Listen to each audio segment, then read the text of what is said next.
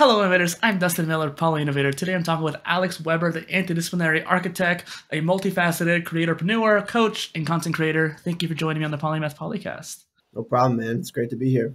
Even if you have a desire to become a certain type of person, you need to have a self development system that is going to hypothetically generate that result. And so I understand that when someone hears architect, they think building, right? But it actually when you look it up it really just means connector of independent system. If it, if you know anyone who's an architect or if you've been in it before once you get into school it's it's up there with law and medicine in terms of the the journey that it takes to even make it through so. Dustin miller poly innovators crave innovative products which is exactly why the polymath polycast is powered by riverside.fm and I know we had a chat, I think, last week about just kind of both of our lives and the things we're interested in. That definitely helped at preparing some of these questions here. I'm glad to get be able to talk to you on the show, on the record. The way I like to break the ice is to have you share something about yourself that no one knows about you. Sure. Yeah. I always have this one ready to go. I was in the circus for a couple of years actually when I was a kid. So, yeah, that was, I had a ton of energy and my parents were always looking for ways for me to get that out so that I didn't drive mm-hmm. me crazy. So yeah, it was I was in that and I loved it. I loved doing that, gymnastics, all sorts of uh, weird things like riding unicycles and stuff like that. So yeah, it's a definitely takes a lot of coordination too. It does, yeah. You kind of have to, um, yeah. You just got to roll with things and just be able, willing to try something and maybe fall mm-hmm. down and do something scary. So, but I always liked it. Yeah. I love how that also kind of translates to lessons you can learn for later on in life too. Like sometimes you're gonna fall off, but you got to get back up. A hundred percent. Yeah. There's no way you're hopping on a unicycle the first time and that thing's going forward. You know, it's hard yeah. to do a, a regular bicycle, but um, exactly. yeah, it definitely has served me well. That's awesome. Uh, so, given that's kind of how you were as a child too, let's kind of skip forward a little bit. How, what was your mindset five years ago, and how have you changed since then? Yeah, I honestly think I'm pretty similar. I just think everything's better, right? I mm. think I'm more experienced, more resilient, uh, more patient, more presence. I think more presence is maybe the biggest thing, right? Because mm-hmm. there's a lot of nuance with what it means to be present and how to carry that out in your life. But I think mindset wise, everything's going always been going in this this direction right and i hope to say the same thing another five years from now like I don't think that I'm going to be any different personally, right? I just think I'm going to be better, right? So that's the way I look at it. Yeah, I actually started my whole personal brand because I wanted to get better. I knew that I wasn't where I needed to be personally in order to accomplish my goal. So I spent the next five years pursuing that, and here we are doing this. So I think you might understand that too, considering your branding that you do. It's interesting to think about like what we're trying to accomplish. So what do you think you've been trying to work on, and what you feel successful at? Right it's very very interconnected kind of what you just said right like i think that self development in a vacuum mm. is it's not bad or it's not good right i think but when you have a project or something that is propelling you forward push, pushing your yourself out of these boundaries and whatnot like you kind of almost have to have an outlet for your self development right i think that it's very hard yeah. to constantly be pushing yourself when you're not when you're just doing it for the sake of doing it right mm-hmm. but um things i've been working on are my time management but not in the typical way that that would be discussed right and uh, this probably stuff that we discussed today right because of mm-hmm. the way that we look at our lives and creators whether you consider yourself a polymath or anti-disciplinarian or generalist or whatever the concept of how we use time and then how we feel about that and experience our life as a result of that is very different from someone who is oriented to time blocking and mm-hmm. is more in a typical like specialization within a field right and so i've been working on i mean what is going to make my business perform right and that's ultimately the measuring stick but within that like do I feel good as a human being about the actions that it takes to produce that result, right? And I noticed as I got going from leaving the professional world as an employee to becoming an entrepreneur that you know you are in charge and you're responsible for that lifestyle that you create mm-hmm. right? and you can have a, a lifestyle that you like and it could produce no results so you're not going to be successful but you also could be super successful but the actions that it takes to make that result happen and to live that life, you could absolutely hate, right? So, which kind of defeats the whole purpose of, you know, striking out on your own and being independent. So I've really been just trying to nail down what that sweet spot is where I'm getting up every day. I some days I'm super excited to take the actions I need to. Some days I'm not at all, but the actions mm-hmm. are taken at a, a base level right? And I know that that's going to drive performance in the long run. And yeah, I just kind of bank on the fact that as I adopt these these principles and these lifestyle habits in, and I, I start to experience the results that I'm going to like it. And if I don't, then it's my my accountability that needs to make the changes, not someone else's. There's a hmm. lot of points you made there that we could jump off of because I definitely think that people who are multidisciplinary or anti-disciplinary they have this kind of need for time blocking, but there also is the kind of point of should you time block or should you just manage your time in a more efficient way? And something you kind of mentioned there's like you may not get it done at the right time, but you're going to get it done no matter what. And that's something that's really important. Like it doesn't have to necessarily be quote unquote on time as long as you get it done and get that goal moving. Because we have two points. You have like us in the middle, you have the projects that are pushing you forward and that North Star pulling you forward. Mm. And sometimes it's either a push or a pull, but as long as you're moving, that's what matters. Yes, yes, exactly. Yeah. Yeah, and you literally can feel like sometimes you are being pulled in different directions or very strongly in a certain direction, but maybe another part of your psyche or whatnot is it's just it's very very difficult i think to get all arrows pointing in a singular direction and then to pull that yeah. off every single day right uh, to varying degrees and kind of feel satisfied uh, but yeah. that's the challenge of this all if it was easy then like everyone would be doing it, of course everyone would be doing it yeah so from a young age you were interested in architecture. What was your drive to learn that? Yeah. Man it's so many different things but i write about this i've written about this in recent content and also on my website.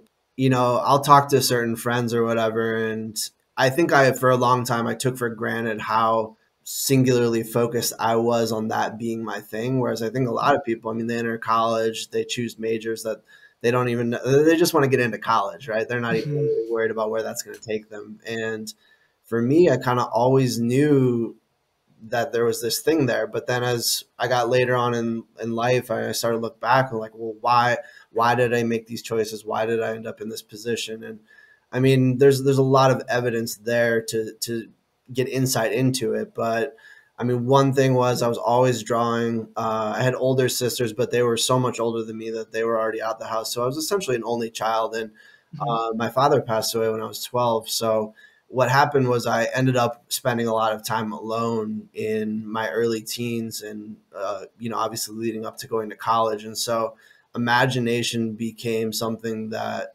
fueled my ability to make it through time. You know, I mean, I had mm-hmm. friends and everything, but I mean, I spent a long, long periods of time alone and I ended up reading a lot and getting into other kind of creative activities because of that, really to fill the time. Uh, so drawing, I love making origami. I like doing things that were kind of the, at the intersection of making, but also had some sort of scientific or maybe mathematical element to them. Mm-hmm. And um, and one of the really cool stories that I have that's related to this is in sixth grade, one of our teachers she had us write a letter to our future self, and so mm-hmm. you would write this letter and then you'd hand it in, and then she'd actually mail it to you seven years later when you were a senior in high school, which is really cool.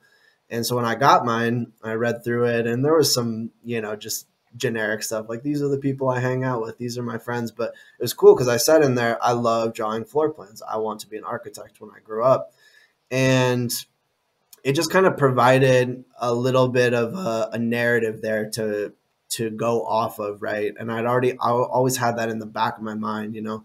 I'm from illinois like a smaller city and so when i got the chance to visit chicago when i was a kid mm-hmm. chicago was one of the great architectural cities in the world and uh, it's where frank lloyd wright's from who's a very famous architect that i think even most people who aren't really even that familiar with architecture still would probably know that name and so I was just kind of absorbed in that world of like buildings and design and the, the energy that a city gives you. I thought that was very inspiring. So kind of all these forces came together and uh, but in terms of action, it was the little things. It was drawing all the time. It was in high school enrolling in a vocational program, which taught you the fundamentals of computer aided drafting, which is going to be an essential if you're going to actually do it, right? Mm-hmm. Drawing in your sketchbook is one thing, but you know, doing the work is is another thing. So that got, got me ready for that and made me consider going into it in college. So there's a lot of different things. And then from college, it's a whole other leg of the story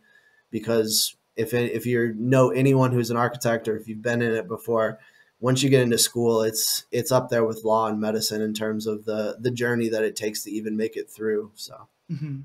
Well, because considering how important buildings are in society and making sure that everything's actually like up to code and up to yeah. snuff, to make sure nothing like collapses, obviously. Well, and I love how there was a lot of connecting dots too. Just even from a young age, it kind of jumped around, but it was one of those things where it was that consistency layer. Yes. Yeah. Exactly. I resonate with that. I kind of said something similar about being a businessman when I was around the same age, and then eventually CEO and like all this different stuff, just continuing over to life.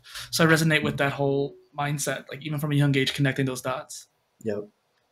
Something you came up with is what the adapt growth system. So could you explain that a little bit? Yes, it's still in a, a state of evolution, but I would say it characterizes my own personal perspective toward holistic self development and creative development as an individual. I think that there's always a constant feedback loop that's happening between our development as individuals and as human beings and our creative capacity to develop something, whether it's just literally for the sake of creating something or if it's literally to create it in to make it to be a, a vehicle for our business and to fuel our lifestyle right and i think that when i when I look out in the market, generally I see less holistic solutions than more holistic solutions. You know, maybe people will focus on a very specific piece of self development, which could be something like presence work or meditation or something like that. Those are components of self development and growth, right? But it's, mm-hmm. you know, once you start practicing it, you see how that indirectly influences creativity, right? And then you could have stuff like creativity development or business development, which would be like maybe learning sales or marketing or learning how to draw or um, you know creating content. You know, these are creative actions, right? And by taking those actions, you actually you know create your own growth right through that and so there's always this feedback loop that's operating and what i wanted to do is get right in the middle of that process and really explore the intersection between the two as opposed to focusing on one specifically like self-development or even zooming in further to niching in a specific subject in a self-development domain or creative domain or business domain i'm more interested in how do all those pieces come together for mm-hmm. you the individual and you make a lifestyle out of that so that as your self-development is going up your creative development is going up at the same time I love that too. I haven't talked about the hourglass analogy where you kind of compound going up, you start adding more and more little pieces, but the same thing can kind of go the other way around too. If you kind of lose one thing, you might lose the other thing and starts going down.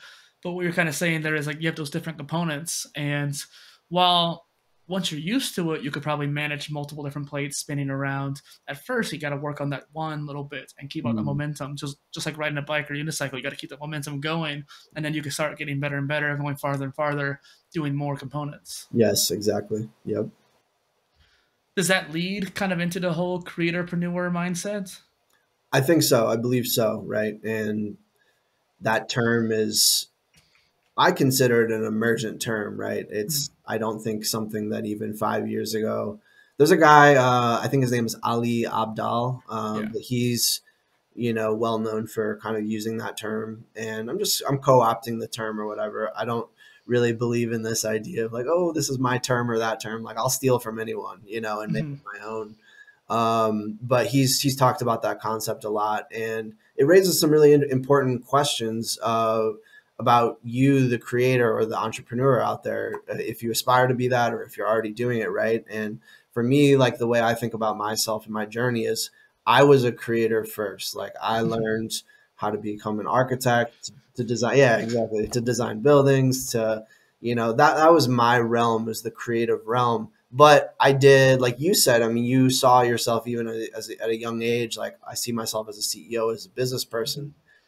Though that wasn't the the I would say the dominant thing that I was thinking when I was younger, I always knew that there was a side of me that wanted to explore that domain as well, but it would have had to have been through the lens of my own creative expression. Whereas I think some people they are entrepreneurs, they are business oriented, or maybe their their primary domain is something like sales or marketing or fulfillment, which is right. right? We need all these things.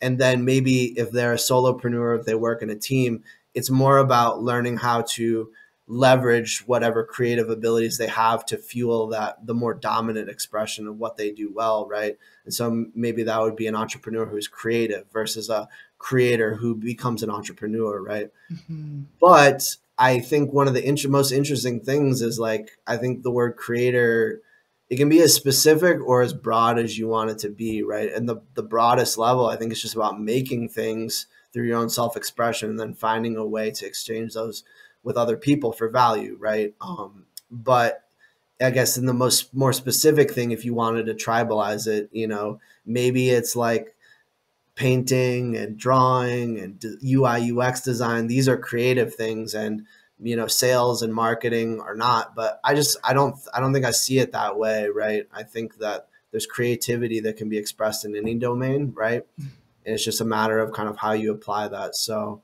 i think right now i'm just using it as a way to gauge how other people see themselves out in the market and see yeah. if it becomes an attractant force. And so far it has. I think i've had a lot of people reach out and be like i love you using that word or whatever. And so I'm just I'm kind of rolling with it right now. I see other people who like one guy connected with, he calls himself the fatherpreneur and he, he has his own business, but he's also been teaching his daughter from a very young age how to, you know, think business, right? Think how to manage my money. And I love that, right? So I think to some degree, these labels are also just marketing terms to be able to attract certain types of people to you. So, yeah. I definitely like creatorpreneur mindset. Solopreneur is the one I kind of anchored to a little bit, but it's pretty similar in nature, just a bit more like business, I guess, centric. Sure. And funny story, Alex, uh, Dr. Abdaal actually came on the Polycast a while back. So it's really? kind of fun. Right before he hit 1 million subs, I think. Yeah. Well, in the creatorpreneur mindset, especially since you and I both started out as creators first, we had that creativity kind of innate in us, blogging or videos or whatever we might end up doing it's just one of those things where it's fun to make that content. It's helpful. We're talking about stuff that people might not always talk about, like interdisciplinary and or polymath and stuff like that. And so we're filling that kind of quote unquote niche or meta niche that needed to have somebody there. But being a coming ah, but becoming a creatorpreneur, adding things like courses or books or stuff you can actually sell, or maybe some kind of you know downloadable PDF, those kind of things are always a really way to nice way to upgrade that kind of free content to something else. Exactly. Yep. Yep.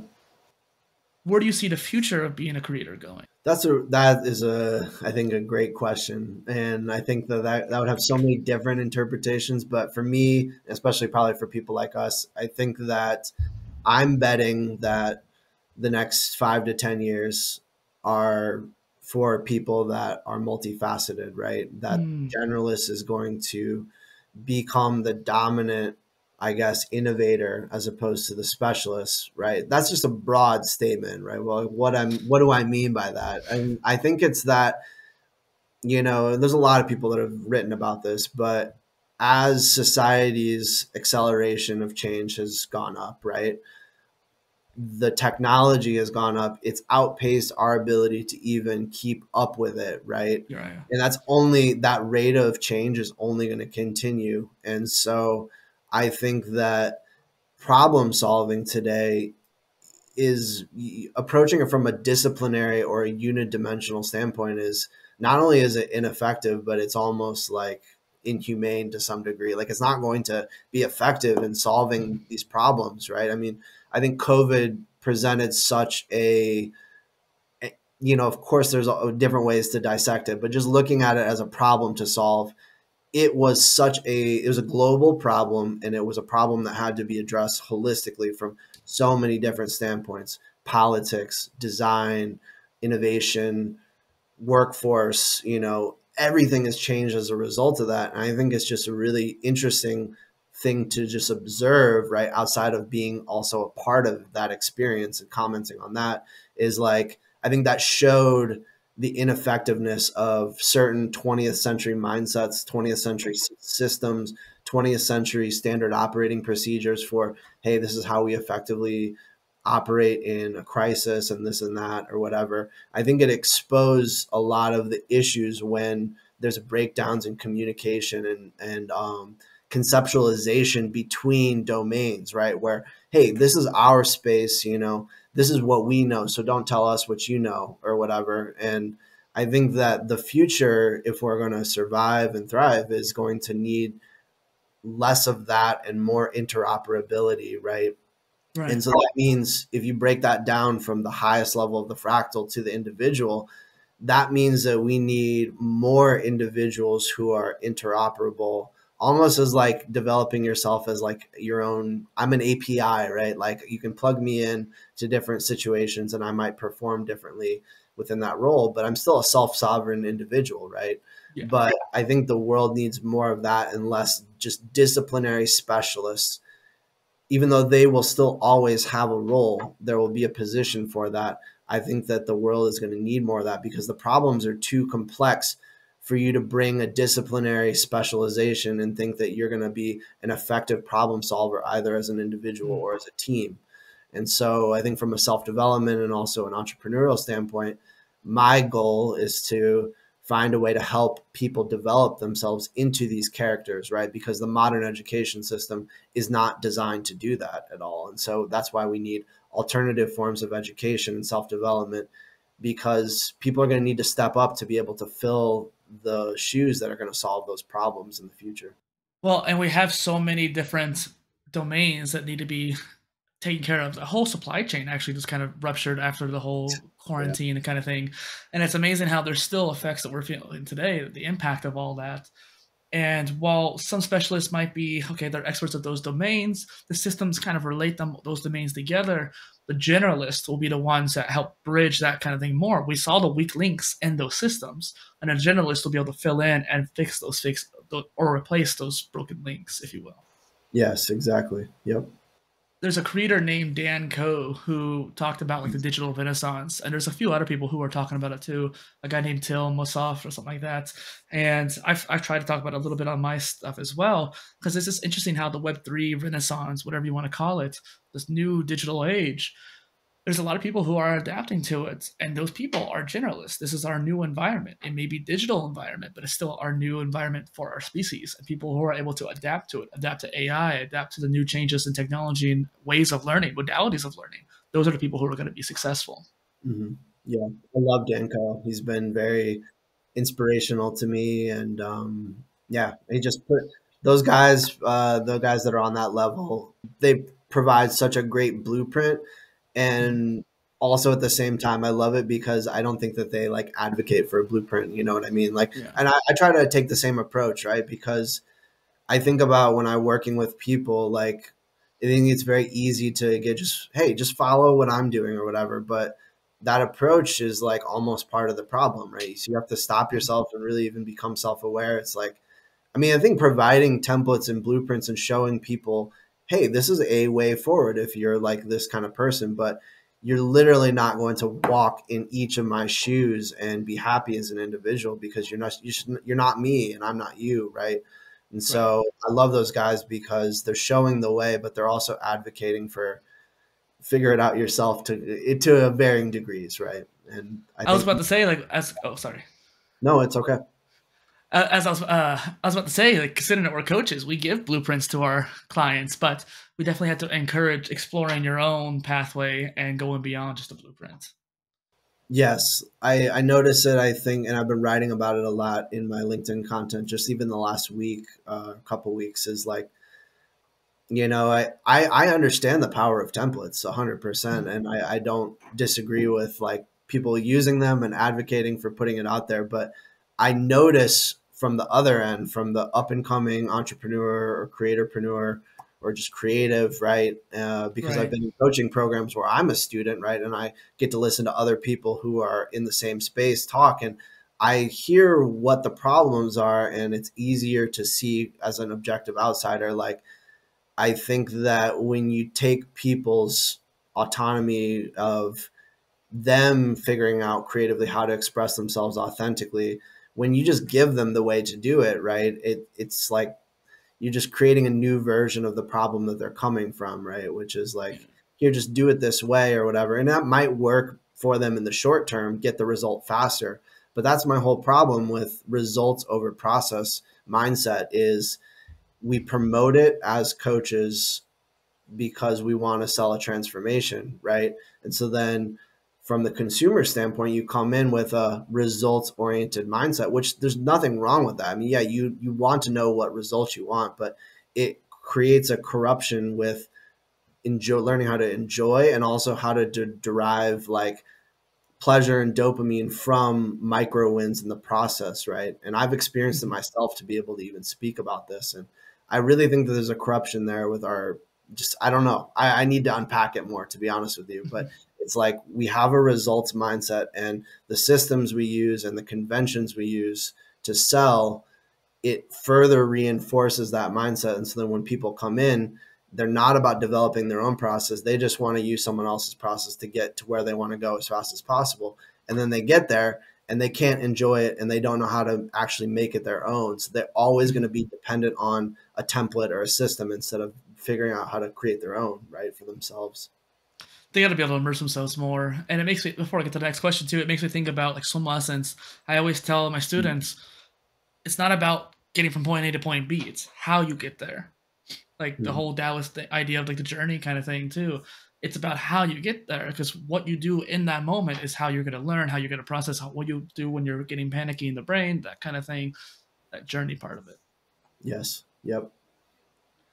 Well, so you introduced the whole idea of this antidisciplinary mindset to me, and you talked about the person who introduced it to you a while back during our previous chats. While multidisciplinary is having multiple nodes, interdisciplinary is the intersection between those nodes, these antidisciplinary mindset is the space in between them. So, what made you hooked onto that latter term? Mm-hmm.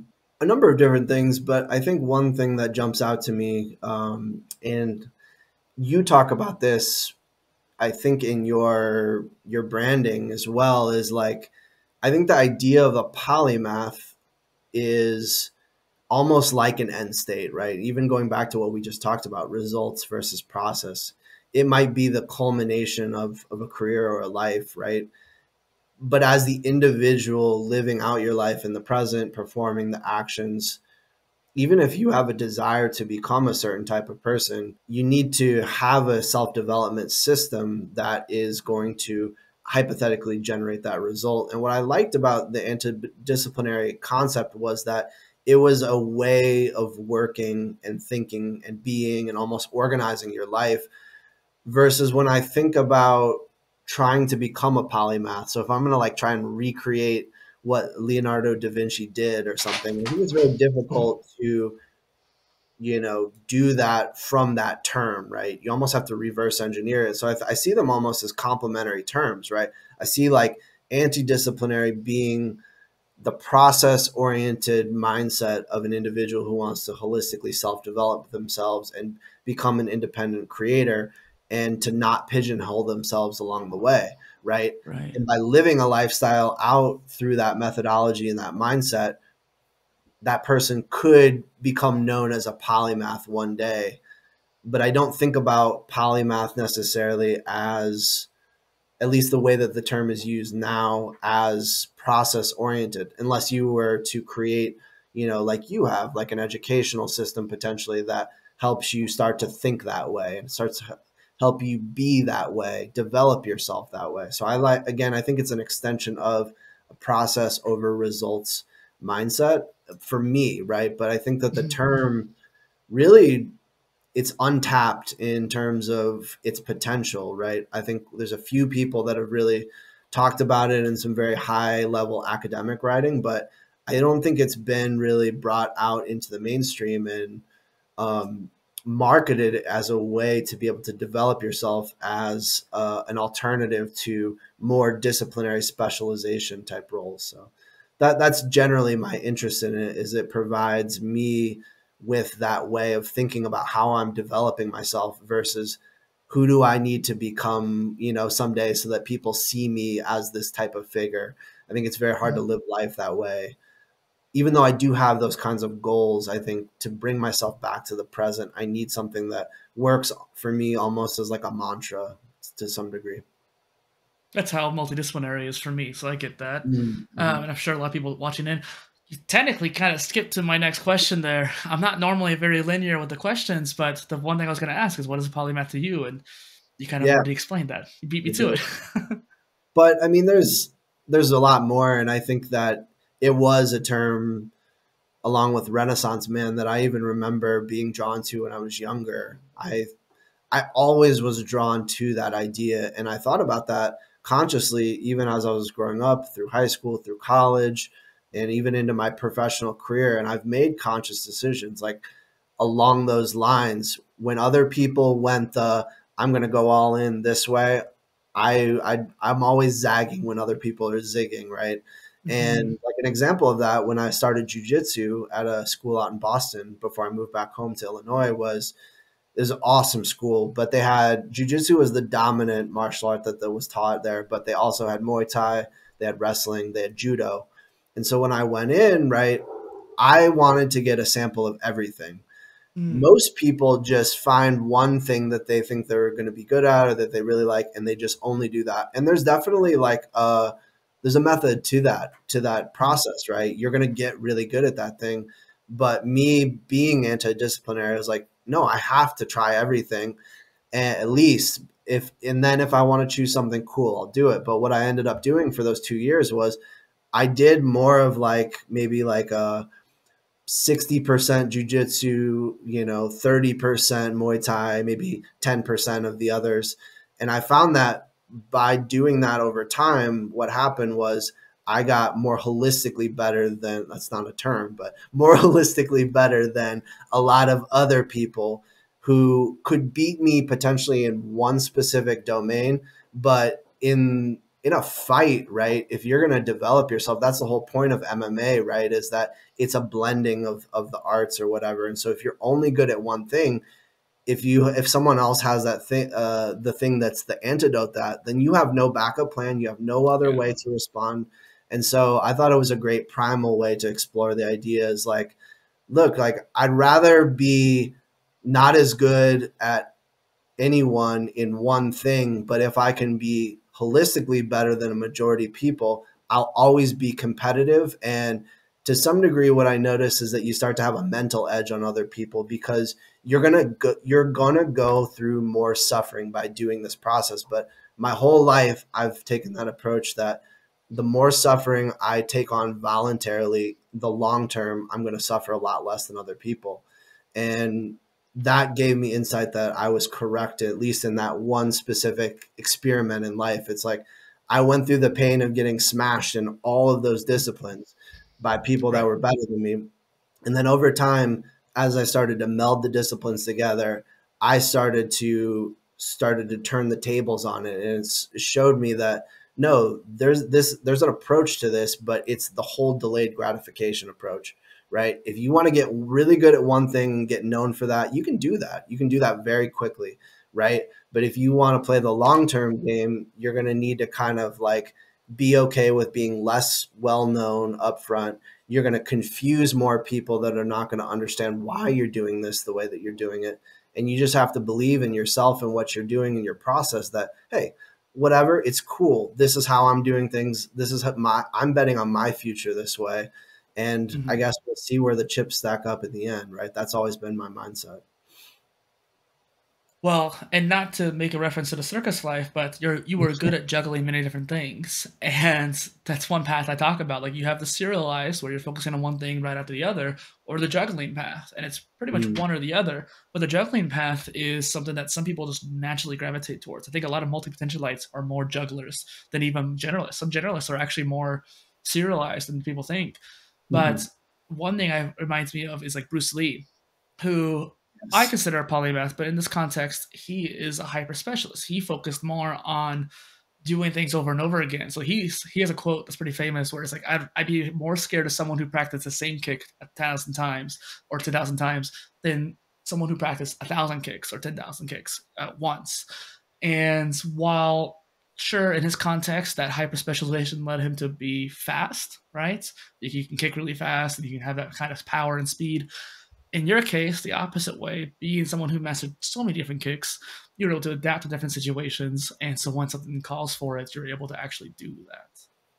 Yes. And you bring up another phenomenal point, though, that is kind of lost in the weeds is like you can be disciplinary within a, an anti-disciplinary or multi-potentialite meta strategy, right, for yourself. Mm.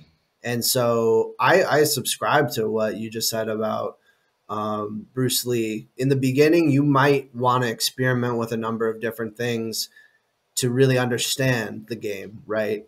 But then within that strategy, right, what I ended up doing, for example, with jujitsu is I took one technique, which was the dominant technique that I used to submit people to get the tap, essentially, right?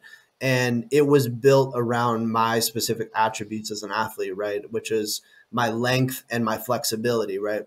I was just having a conversation about this with a guy at the gym the other night. We were talking about it, but he's a big, big built dude, and I said, you know, if we're if we were fighting, it would be almost pointless for me to fight you with yours like your strength, right? Trying to fight your force with my force because I'm never going to win that, right? But if I can get you into a certain position and all of my moves are to funnel you into that position, then I know more than likely I have an 80% chance that I'm going to finish you, right? Because you're not ready for that. And it's so I I got really good at one technique, but it was after about a year of just doing broad stuff and not really gaining any traction anywhere. And that's where you have to trust in the process. But then yeah. when you do find that thing, then like Bruce Lee, get become the best in that one thing, but have a holistic strategy that funnels people to that one thing. Have you read the book Range? I have not, but it's actually I just finally came across that a couple days ago in my research. Uh, by is it Epstein or something Epstein, like that? Yes. Yeah. David Epstein wrote this book, and I think it's like an introduction or one of the early chapters. He talks about uh, Roger Federer and Tiger mm. Woods. Tiger Woods was a specialist from the youngest age, from like literally toddler doing golf and get really good at that. He was a hyper specialist. And while he got really good at it, and that was like his main thing, that deliberate practice was very focused and nuanced. And there were still kind of some things where he might be better. Maybe he was a better basketball player, but we'll never know because he was so narrow minded there. Whereas mm-hmm. Roger Federer, and part of that was also his dad too, but Federer, on the other hand, tried a whole bunch of different sports, like a dozen different sports growing up. And he's known as one of the world's best tennis players. But that's because he eventually found that one after dabbling and experimenting as much as he wanted to and playing around with maybe wrestling or something like that. And eventually found that one he liked and just doubled down, tripled down on that one. And that's why he got good at it because he found the one he mm-hmm. enjoyed doing and focusing on. Yeah, that's interesting. You hear about like basketball players that are coming out today who are phenomenal because the footwork that they learned playing soccer, you know, but then they grew mm-hmm. like inches in a year, but they brought all of the the ability that comes with typically a smaller player, but now they're in a, a, frame of someone who's usually like a lumbering kind of unskilled person. So they're they're able to to blend all of that. And yeah, it just seems to be the way that you see you see it in every domain. Like you see it in athletes, see it in tech tech, um, you know, design. I think that it's just a natural con- convergence culture that's emerged, you know, since the you know the previous century and all the way into now and it's kind of hard to perceive it right but then of course when you look back you see the massive changes in the way that people develop themselves and the skill level is just so much higher right because of the way the different ways that people choose to develop themselves and the unique mm-hmm. circumstances mm-hmm. that their lives present that they that end up becoming like formative elements of who they become. You know, like you said, like Tiger Woods' dad, right? That's not Tiger himself, but it obviously shaped a lot of who he became and how he his mindset and approached everything. Well, and you said something earlier about the antidisciplinary mindset, and it sparked a really cool idea, but I think I lost it at the moment. So if it comes back, I'll let you know. Sure. It kind of did make me think about the creatorpreneur mindset and how different nodes are different content types. You have podcasts and videos and blog posts. Mm-hmm. And while the disciplinary mindset might be the focus on one node. The multidisciplinary mindset, which is something I more employ, is like focusing on multiple nodes. I'd rather you make 100 posts, whether it's a blog post, video, and podcast, like you can mix between them. So it's 30, 30, 30 if you wanted to. Or some people like to focus on just one 100%. but then you also have the anti-disciplinary mindset, which is kind of like just beyond the notes. You're creating content for the sake of content and whatever the topic is, and if it happens to be a particular content type, that's great. And then you have the interdisciplinary where you might be the bridge between those two nodes. So it's just kind of interesting. Mm-hmm. Yeah, I think that there's tons of potential, and I just want people to know that I think this is the big thing, and you have your own approach to it. I'm developing my own, and you know, there's mm-hmm. new.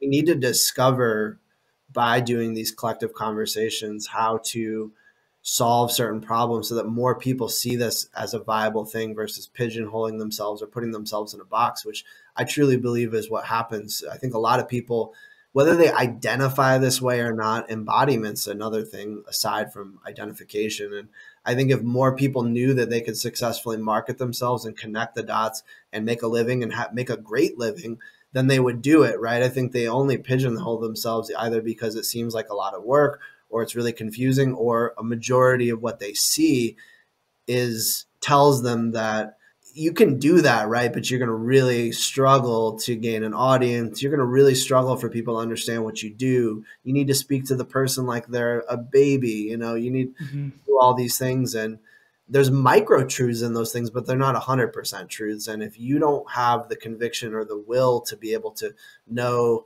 hey like I, I respect all that conventional advice. There's truth in it, right? But hey, this is what I'm doing. Then you're always going to kind of end up in a box, whether it's a box someone else put you in or you built a really nice box to put yourself in and then 10 years later you're wishing that you hadn't done that you know so i just yeah. i want more people to understand that that's possible and so i guess for that to happen people like you and i need to create solutions that help people do that well and that box is another word for that could be like a view frame. Like you come from that mindset, that one node, that's your view frame. So my node might be multidisciplinary, but since you brought anti-disciplinary to my attention, I'm trying to change my view frame to what that would be. So I'm trying to apply the anti-disciplinary mindset towards the same not problems, but just areas that I'm looking at. You know what I mean? Like trying to just change the viewpoint to what that is. Yeah, I true. I think that, and this is one of my goals is or present oriented goals aside from growing my program and more content is to really use the content as a way to build a new theory born out in exp- using myself as the experiment right because i'm not going to sell other people on doing something if there's no evidence for it so just kind of using myself as my own laboratory is like you know, anti-disciplinary, I brought this word from a guy who was using it in application to the MIT Media Lab and the types of people that they attract and everything. And so I think mm-hmm. this guy, Joi Ito, right, he created some foundational level of theory there, right? What I want to do is bring that in and develop a self-development or creative development theory for the individual that begins to not just be a theory, but something that people can – start to work with, right? Like we said, mm-hmm. like blueprint, but like almost like an anti blueprint, but a way that someone can develop themselves of their own accord without it being like here, like just follow exactly what I did, because that's not going to work. But yeah. solutions do need to be there to be able to do that. And I think almost like a new body of knowledge or an evolution of the existing bodies of knowledge with polymathy, Renaissance people, generalism, all these different little terms. And what's so cool about that graphic that you showed me the last time we spoke, it's like bringing all that stuff together so that there's some some way of understanding the differences or the nuances, but also the connections between these words. And I, I just, I'm really, that's what I've found that I'm the most passionate about, that I think that I can have the greatest impact in that space is like coming up with a new body of knowledge or evolving the existing one into a way where people can start to practice this in their lives and see results. Well, and you're referencing the multidisciplinary spectrum that we talked about last time. And I've shown that on the show in the past, and people can look at it too in the description. But it's one of those things where that was something I was passionate about. I loved all these terms. Like I might identify more as polymathic or proto polymath or whatever, but the idea of that particular term being my anchor someone else might be more anchored towards multidisciplinary or not multi uh, multi-potentialite or something like that. Mm-hmm. And whatever term you use, they all kind of flow, like you mentioned earlier, to that polymath and, and as an end goal kind of thing. And I, I started seeing that kind of pattern form, that flow form. And so I created that system, that chart of just to show people where that flow goes. And I feel like for you, finding your own, you know, spectrum, if you will, whatever you're trying to goal. Like you're architecting people's lives, so how can you can how can you make a system for someone's life architecture kind of thing? Yes.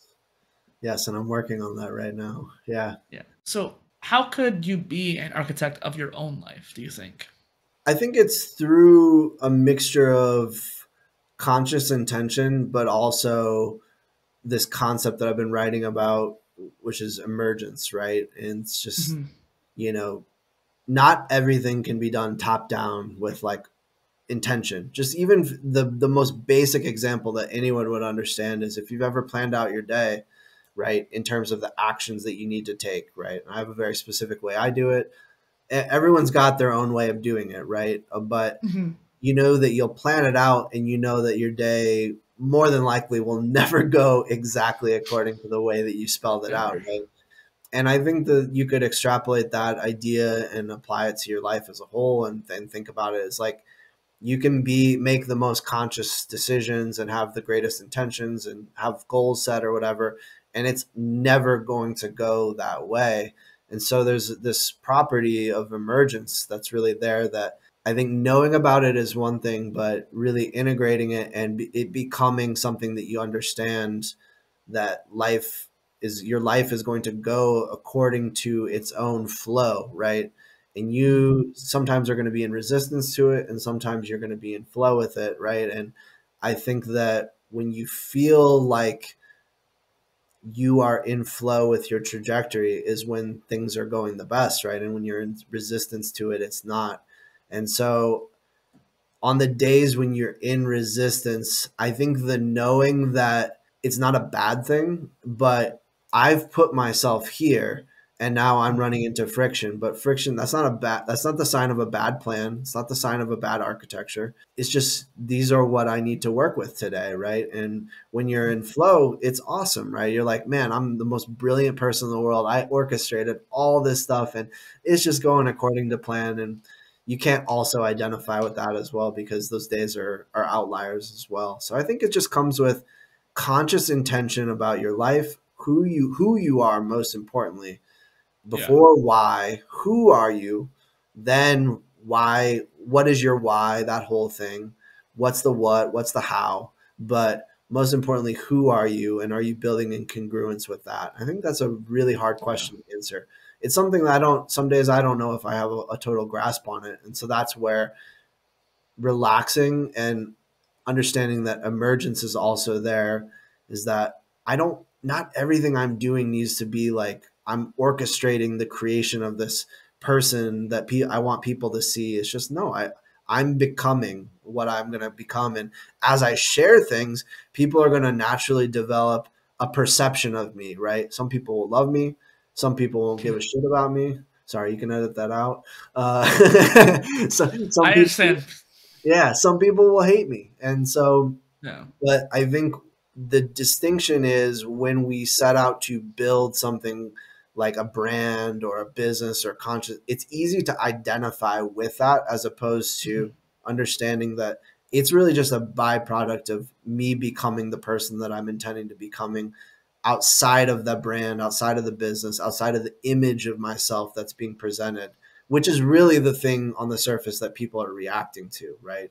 But it's not the actual real me. Even right now, I mean, I, I believe that I'm being authentic right now, but it's still not a hundred percent authenticity in terms of, you know, a different type of experience with me. So even things like podcasts or when you share your content, you're not your content, right? You're not these surface level things. And I think people struggle when they identify with the image of themselves because they don't know who they actually are. Well, and kind of going back to that flow too, I definitely understand not being where you're wanting to be at. I feel like I'm a year and a half behind on my whole mental trajectory of the whole many years planned. But it's just one of those things where sometimes it's going to be the thing. Sometimes you have more resistance. Like, you know, we talked about COVID earlier. That was a resistance we all felt, and it slowed everybody down in some way, shape, or form. Accelerated in some ways, too. There was a COVID accelerant that I talked to a lot of people about on the show, mm. where if you took advantage of the opportunity of that free time and people being home, you could have done a lot more during that free moment. Mm-hmm. But earlier in this episode, we talked. I, I mentioned the whole idea of these like little pulling towards that direction. You have projects pushing you forward, and then you're getting pulled towards your goals. But if you don't know what your goal is, or if your goal is misaligned where you actually need to be, it's actually a reverse arrow, kind of pushing you back. If your projects are behind, you got that project creep, or maybe you're just not getting things done as far enough. Again, you're getting pulled back, and so the arrows flip from going forward to going back. But I think going forward is that flow. When both arrows are going forward, that's how you get into flow. Yes. And I experienced something even that I'm I'm still not really sure about, right? But I'm I wrote about it, which is sometimes you have to go backwards perceptually to go forwards. And for me, an example of that most recently was when I quit my job last year. Uh, I left the whole life that I've been building in Boston for 10 years. You know, I left people, activities I love. I love Boston itself as a city, right? And I made a conscious choice to move back here where I'm from for a period of time. And part of me is not necessarily like thrilled about that, right? But I'd lived enough of the life I was living to know that that also wasn't actually getting me where I wanted to go. And in some ways, the the comfort or the surface level external stuff like living in a big city having a lot of social opportunities just having more there's just more excitement of course in a city a big city especially when you've been there. The thought of going back to maybe a smaller area sounds it really sounds like regression right? Illinois is just generally not as aesthetically interesting as massachusetts and environment's a really important thing to me right for my own inspiration and creativity. But I had gotten to such a point of discontentment with the life that I was living, the, the, the treadmill that I was on, that I realized that the opportunity to come back, but that to be free and to work on this kind of stuff was actually a massive step forward as opposed to a regression, right? And it's going to lead me to whatever opportunity comes in the future, whether I do choose to move away or maybe I choose to just remain, have a base here, and then I go be nomadic and take my business with mm-hmm. me on the road. But I was never going to get to that next step unless I kind of put myself here, which on the surface looks like I'm moving backward in terms of uh, overall like societal status metrics. You know, I took less money. I w- went to a less appealing environment, right? Now I'm not in a big right, city. Right. So there's a lot of like things there that you kind of feel the weight of like I'm I'm losing status by doing this thing, but I've actually gained a ton of freedom and I feel much more authentic by doing what I've done. I'm only one state away, so I definitely understand. I yeah, am over in Missouri, so. I want to move to Austin. So that's kind of like my version of the big city kind of thing instead of Boston. Mm-hmm. And Great city. No rhyme Love intended. I haven't actually been down there, but for some reason, it's very attached to the idea to move there. So you're definitely preaching to the choir there, and I, I understand the mindset. I feel like I don't want to go back after going there, but you know the grass is always greener. Uh, so something you mentioned before the call the other day, your goal is to embody both coaching and content with an architecture mindset. How do you plan on doing that? Mm-hmm metaphorically metaphorically i think it's just using that the root word of architect as my my guide which is for i think for most people when they hear that word they immediately think building right or they think mm-hmm. home house or some something like that, right? And I understand that, right? It's like me having an opinion on law or whatever. Like I'm, I'm just I'm not. That's definitely not one of my anti-disciplinary nodes is law, right? So I have a very surface level understanding of it, and so I understand that when someone hears architect, they think building, right?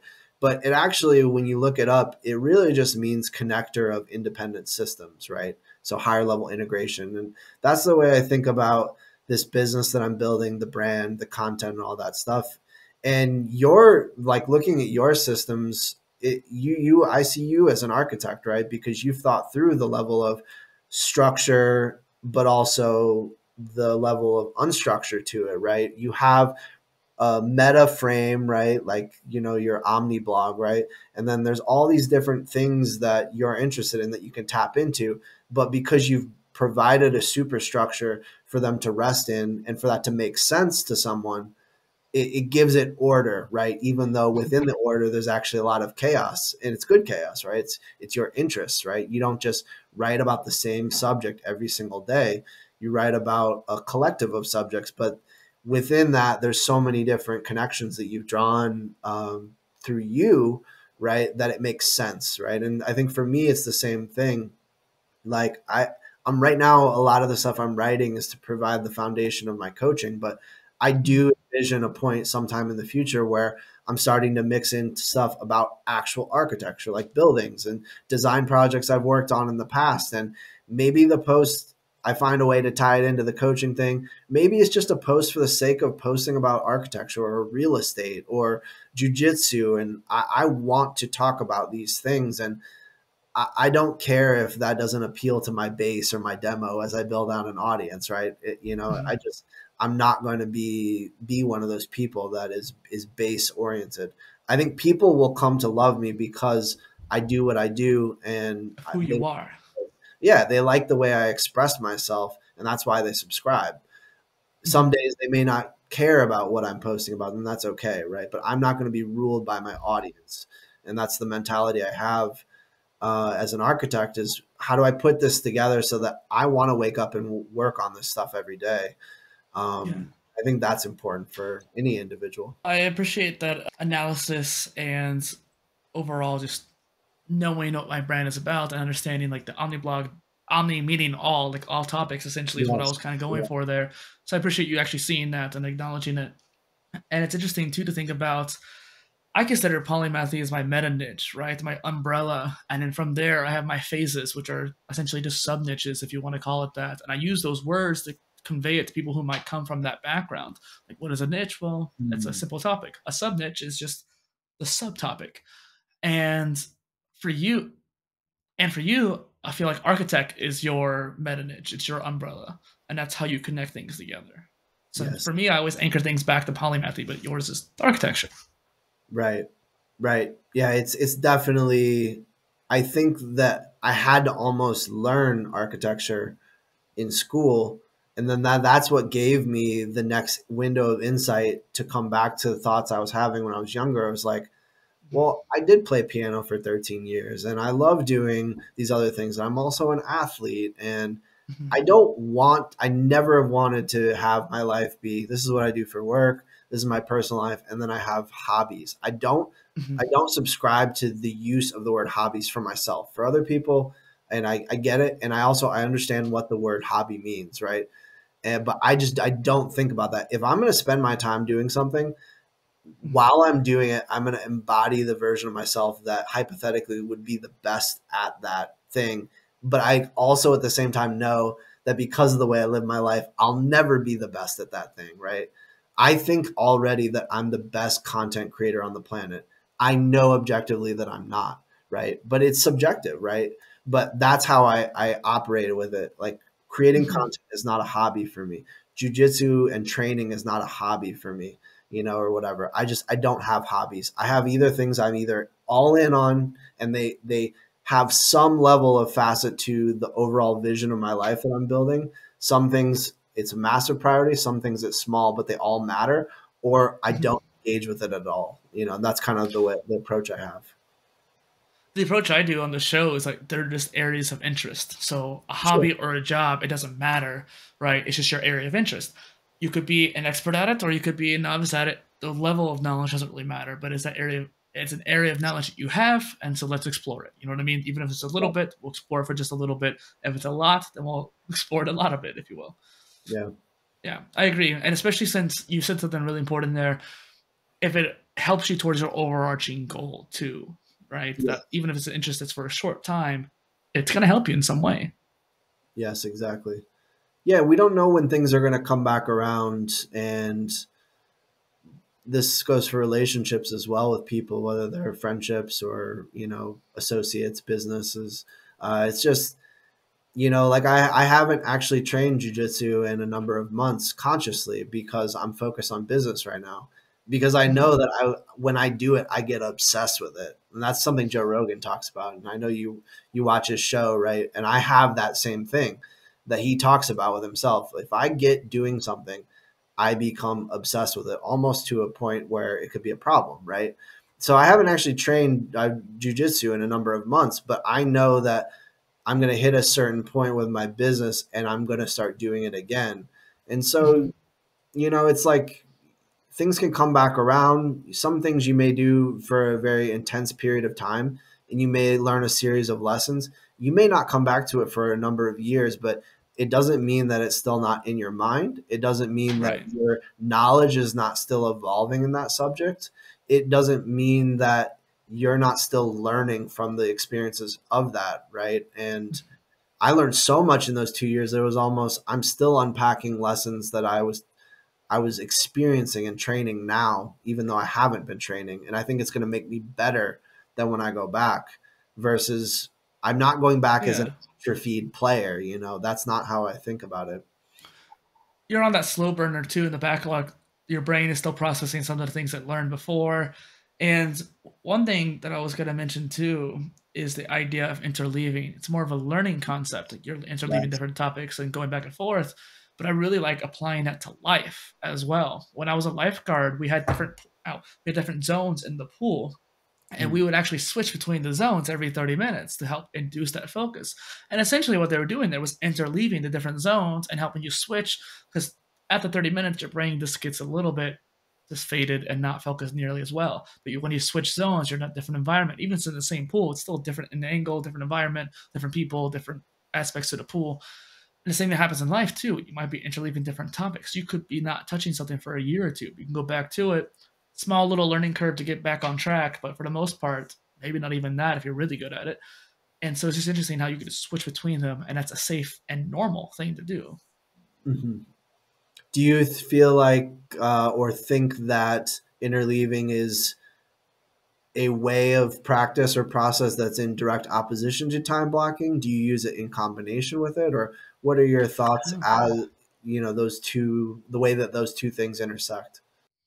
That's a great question, Alex. There was a guest that t- talked to me about time blocking a couple of times ago, and it was interesting to think about how it's not necessarily okay this time of day i'm doing this thing this time of day i'm doing this thing it's more about i need sections throughout the day that i can do my video games for my decompression or doing things for my business or doing things for my learning or self-development. So you have your input and your output times in that day. Then you have the kind of break in the middle or whatever you want to be. And the point of time blocking is to set certain times a day for that. But there's no rule that says it has to be the same time every day. You could even switch between them too. Maybe some days you're more focused on output, some days you're more focused on input, and you might interleave them. I kind of think of it almost in a week scale too. Some mm. weeks I'm more output focused, some weeks I'm more input focused. And understanding that sometimes it's just it's unconscious for me. I'll just realize it a couple days into the week, like, oh, I'm not creating very well or very easily, but I am really interested in watching these YouTube videos about a certain topic. Okay, I guess I'm more in a learning week this week and just kind of understanding yourself and your subconscious in a way. Yeah. And using interleaving to channel that.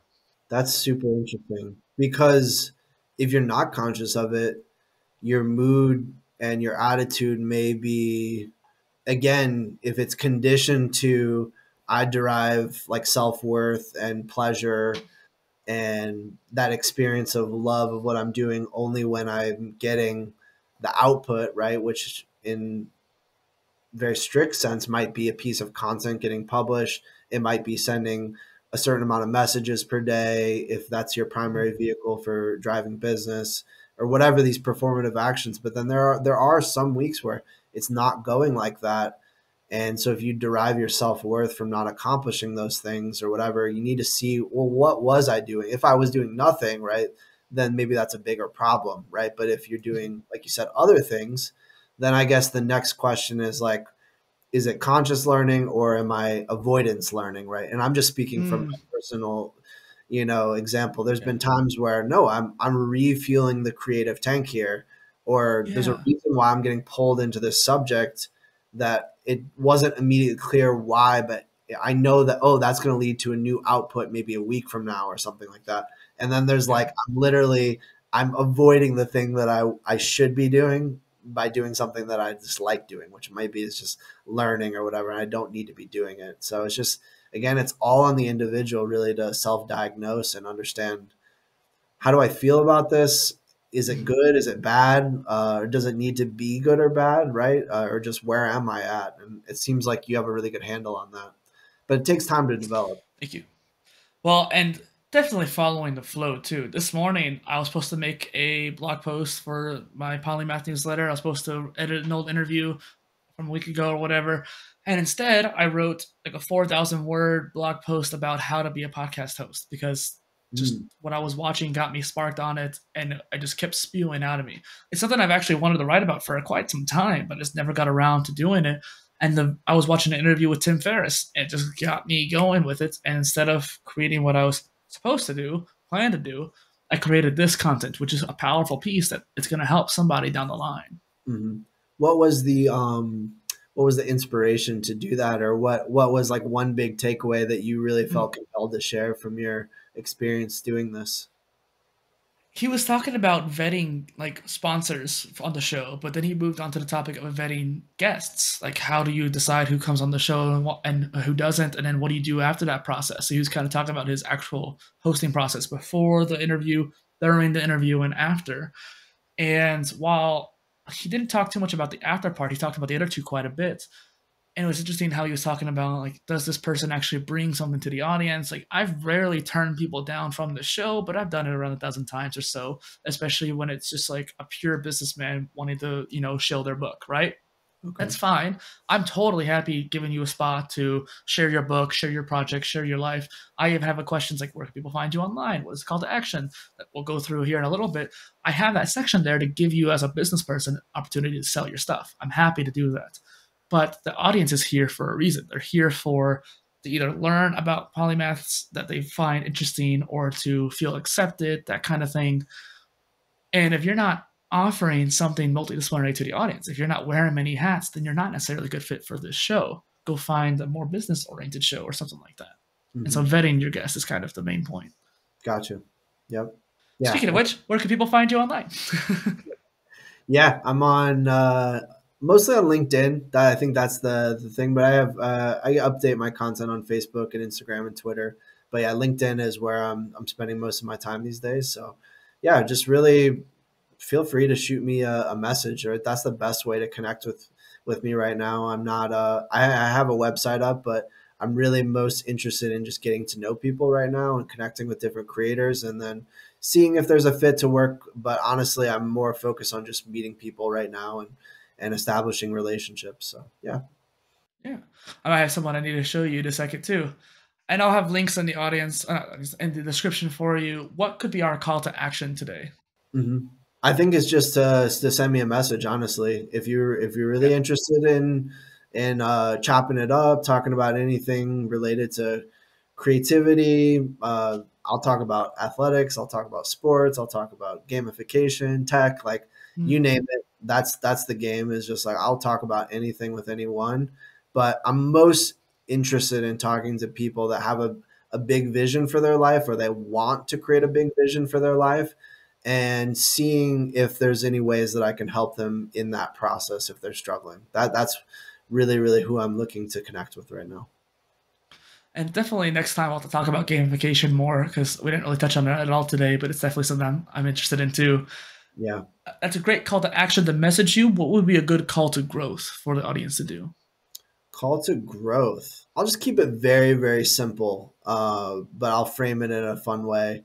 If you're not practicing the Wim Hof breathing method on a daily basis, I just think you're le- you're leaving growth on the table. Let's put it that way. Mm. It's like there's so many things I could advocate for people doing, uh, but a lot of it's subjective, but I just truly believe most people don't even know how to breathe correctly. And I was one of them, right? Speaking from experience. But if you have bad allergies, if you struggle with endurance or cardio, or just in general, if you just want to get healthier, just turn on that YouTube video for 10 minutes a day. He literally walks you through it. And the first couple times you're going to think it's weird or it's not helping or whatever. Just think about like taking a vitamin just take a 10 minute vitamin every day, do that. And I promise you, it, you're going to see massive, massive transformations. They're going to be subtle, especially in the beginning, but just do it.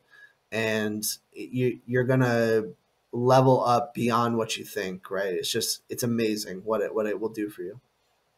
I did the Wim Hof method with some aqua meditation, and it was really interesting how I was able to hold my breath for over 90 seconds because of it. And it was just super exciting. Yeah. So once again, oh, Yep. sorry.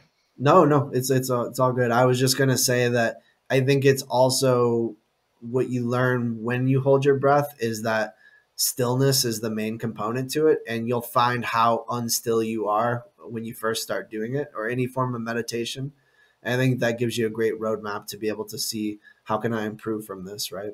makes you a better Mhm. podcast host. I, I realized the first few calls I did, right?